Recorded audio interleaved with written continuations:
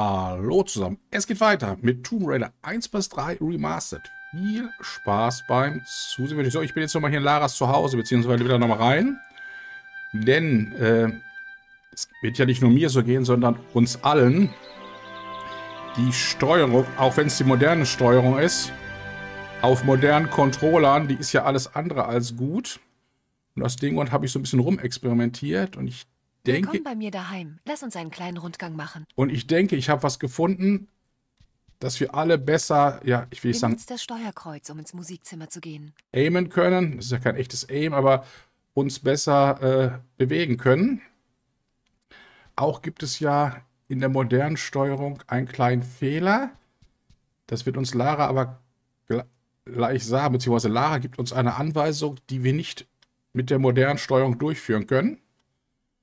Standardmäßig ist ja hier auf R3, wenn ich den Stick nicht drücke, die klassische Rundumsicht, die man immer auf dem R3-Stick hat. Thumbstick R3, also dem rechten Thumbstick. Und wenn ich... Okay, dann lass uns ein bisschen herumtoben. Drück die Sprungtaste. Wenn ich standardmäßig den Thumbstick drücke, dann rastet er ein und ich habe sozusagen die feste Umsicht von Lara. Die Kamera ist dann hinter ihr eingerastet und ich sehe alles von hinten, kann mich aber nicht mit Lara logischerweise bewegen, weil der Stick eingerastet ist. Und jetzt war meine Idee,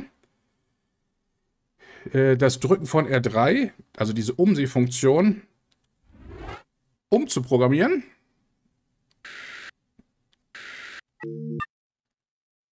Ich habe hier standardmäßig die moderne Steuerung. Und hier unten schauen ist R. Also nicht R3, sondern hier steht nur R, aber das ist ja in dem Fall R3. So, welche Tasten habe ich frei? Ja, ich hatte mich entschieden, weil das vielleicht fürs Arbeiten oder fürs Gamen einfacher ist, das Ganze auf RB zu legen. Beziehungsweise dann äh, auf der Playsee wäre das ja dann logischerweise L1.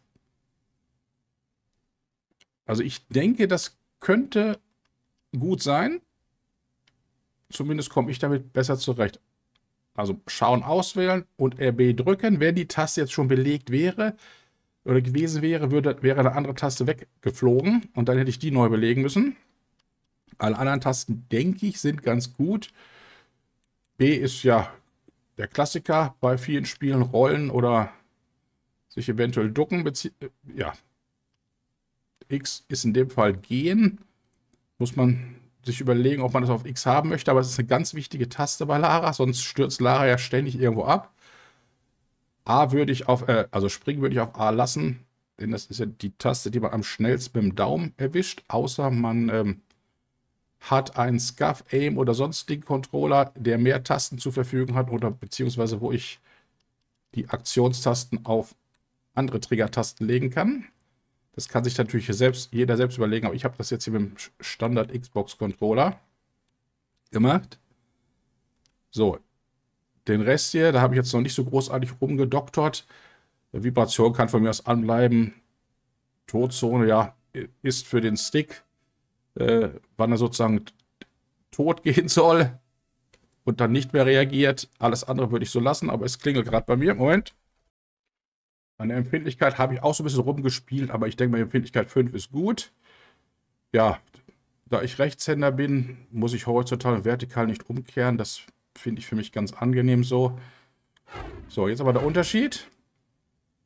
Wenn ich jetzt R3 drücke, passiert logischerweise nichts. Ich kann R3 weiter bewegen, kann laufen, drücke RB und kann mich sofort weiter bewegen, ohne zu drücken. Also das finde ich äußerst angenehmer.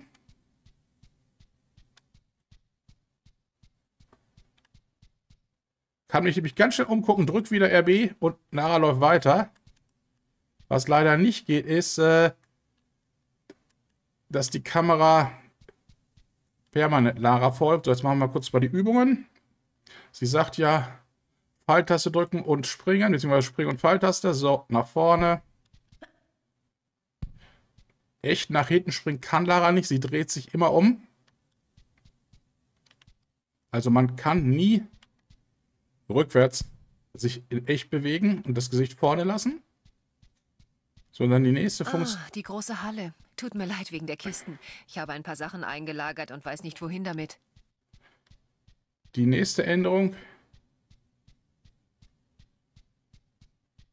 Lauf auf eine Kiste zu und während du das Steuerkreuz hochgedrückt hältst, drück die Handlungstaste, dann kletter ich rauf. die ich für interessant finde, kann ich euch gleich zeigen, wenn wir in dem nächsten, nächsten in den nächsten Räumlichkeiten sind. Hier ist auch nichts mehr was Interessantes. Rechts von uns ist noch ein kleines Geheimnis für diejenigen, die das noch nicht Das gefunden, war mal der Ballsaal, aber ich benutze ihn als Turnhalle. gefunden haben. Hier, Dann lass uns mal ein paar Lockerungsübungen machen. Wenn man dieses Gold hier einmal, einmal anguckt, dann kriegt man ein kleines Achievement, aber ansonsten bringt das nicht so.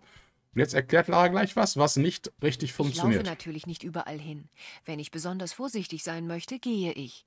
Halt die G-Taste gedrückt und beweg mich zum weißen Strich. Während du die G-Taste gedrückt hältst, kann ich nicht herunterfallen. Selbst wenn du versuchst, wenn du dich umsehen willst, halt die C-Taste gedrückt und drück das Steuerkreuz in die gewünschte Blickrichtung. So, und das geht jetzt mit RB nämlich viel einfacher, finde ich. So. Und jetzt will Lara da nämlich. Na, jetzt bin ich nicht ordentlich gesprungen. So. Das macht sie alles noch normal. Wenn ein Sprung zu weit für mich ist, kann ich mich an der Kante festklammern, damit ich nicht herunterfalle. Geh zur Kante mit dem weißen Strich, bis ich stehen bleibe. So. Drück dann die Sprungtaste und gleich danach das Steuerkreuz hoch. Drück jetzt, während ich noch in der Luft bin, die Handlungstaste und halte sie gedrückt. So, Lara Drück das Steuerkreuz hoch, damit ich hochklettere. schafft es mit so einem normalen Sprung. Ich meine, wenn ich hier diese, diese äh, ja, Tourengeräte, dieses Quadrat der Tourengeräte als ein Feld sehe, schafft Lara es mit so einem Sprung gut zwei Felder zu überspringen. So, das sind gut zwei Felder. Jetzt gehen wir erstmal hier hoch.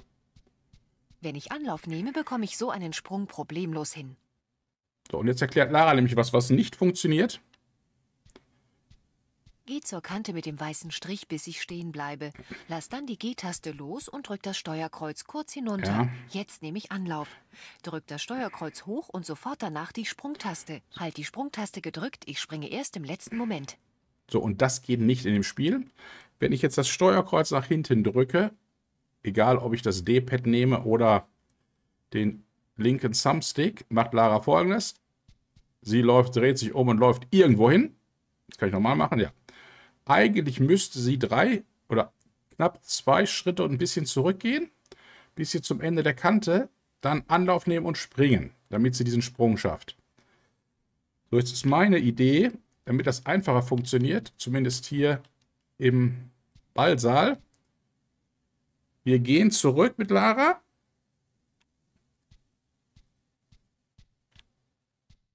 Drücken äh, äh, LT.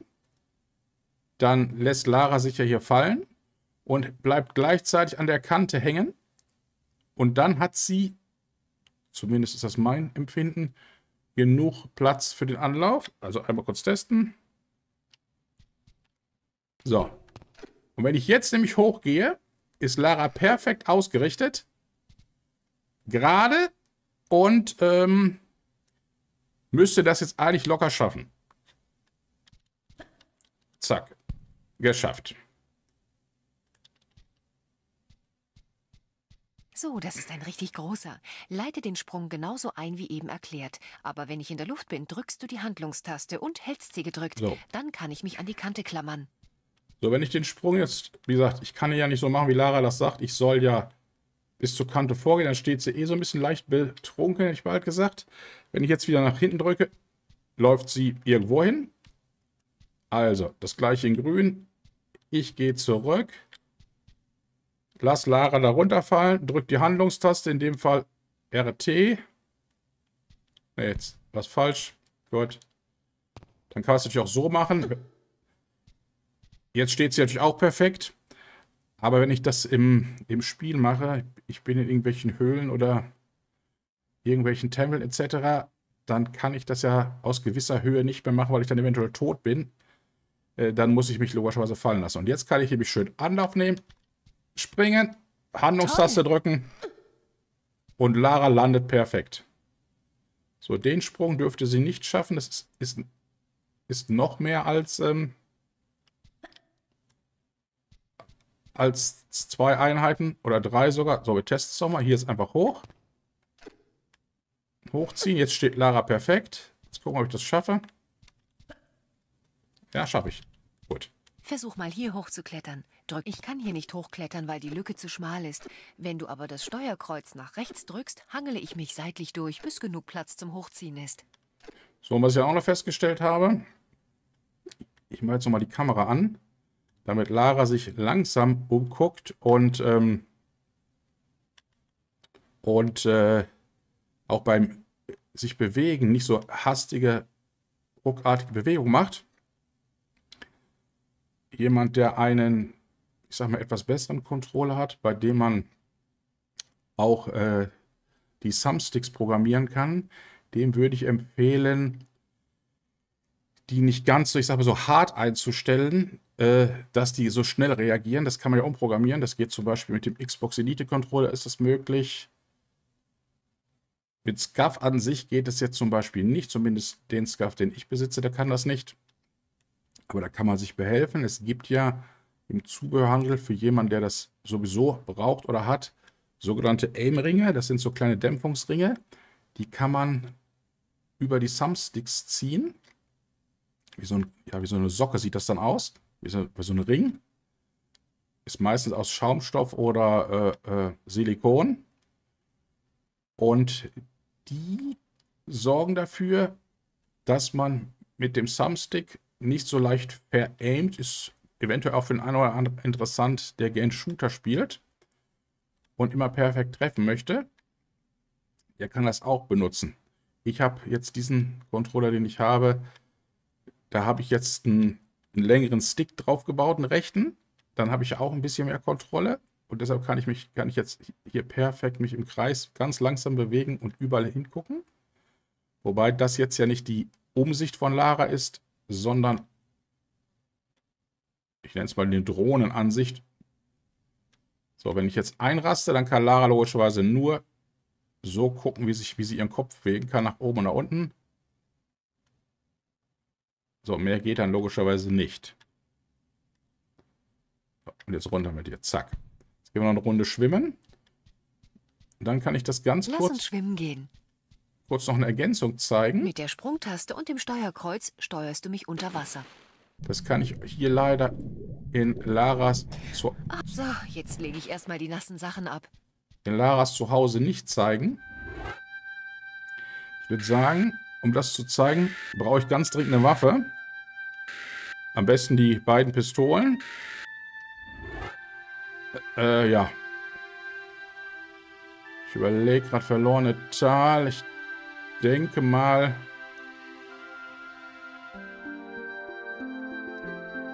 Das kann ich zeigen, indem ich nochmal das Ende hier von, von äh, St. Francis Folly nochmal kurz lade.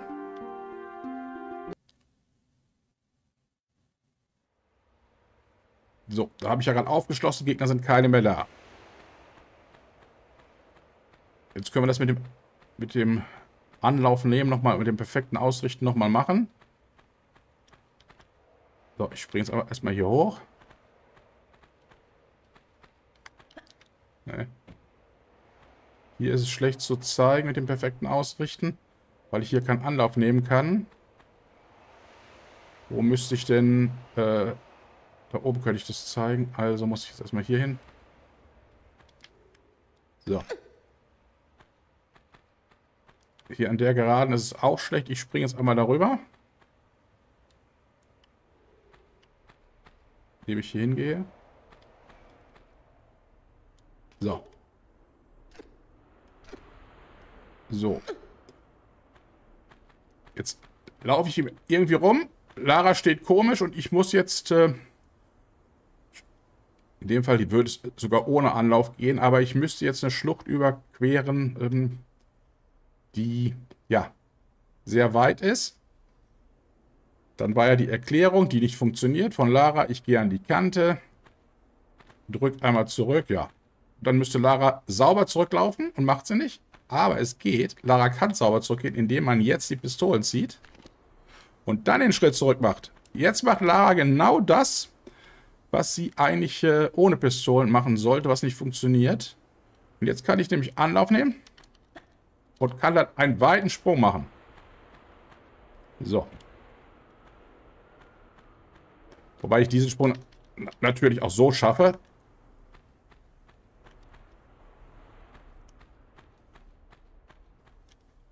Allerdings habe ich das jetzt nur, nur mit der Pistole probiert. Mit der Pump geht das nämlich leider, meine ich leider nicht. Das können wir kurz mal ausprobieren. Das ist für mich auch hier erst Test. Das habe ich noch nicht gemacht. Es könnte sein, dass es mit der Pump nicht geht, da die Pump jetzt leer ist. Testen wir das mal. Nehmen wir ein Stückchen so. Doch, mit der Pump geht es auch. Also es scheint bei Lara die Waffe egal zu sein. Sobald sie die Waffe in der Hand hat, kann sie perfekt sauber schrittweise nach hinten springen. Ja, wie gesagt, sonst habe ich nichts verändert. Ich werde das Ganze auch nochmal spaßeshalber die nächsten Tage auf der Playsee testen. Das wird aber genauso funktionieren. Ich spiele dann gleich hier weiter. Sagt danke fürs Zusehen. Tschüss, bis zur nächsten Folge. Macht's gut.